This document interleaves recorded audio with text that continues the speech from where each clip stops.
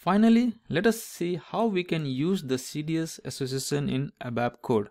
Trust me, this will be our last theory session for this training. In the next uh, slides, there will be no slide. We'll do the hand-on exercise in our HANA studio.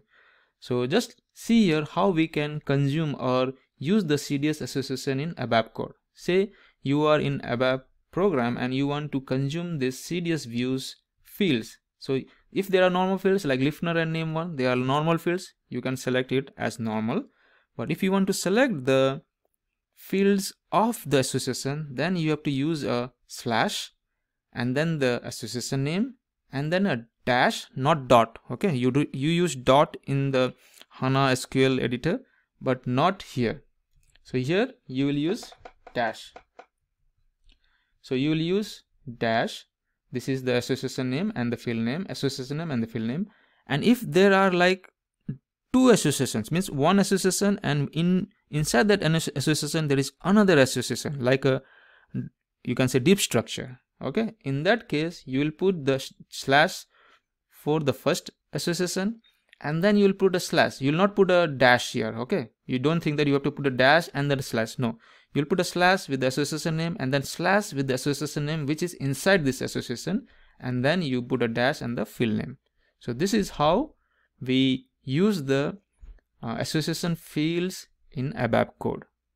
So before we go to our exercise I would like to request you to join our SAP learning community. So it's very simple.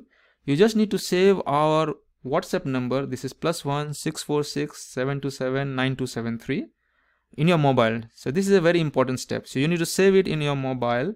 Then you just send a whatsapp message saying learn and then you are done. So you would be in our learning community and you can interact uh, with our team and we can help you in in your uh, sap learning progress.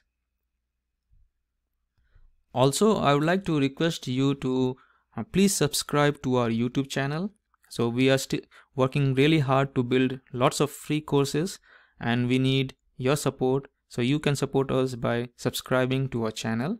You can also like our facebook page follow us on twitter and instagram. So all our facebook um, or all our social media handles have the same name that is sap yard. So please please support us and subscribe to our channel. Now let us go to hana studio and create our CDS with associations and see how they behave uh, and test them.